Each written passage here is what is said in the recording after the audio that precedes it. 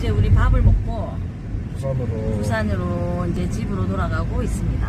그 앞에 요트를 달고 가는 차량 앞에 요트 달고 가는데. 5조 번호판이 밑에 있잖아요 아, 네. 핫도이 아, 그 차는 이제 번호판 없이 가는 네.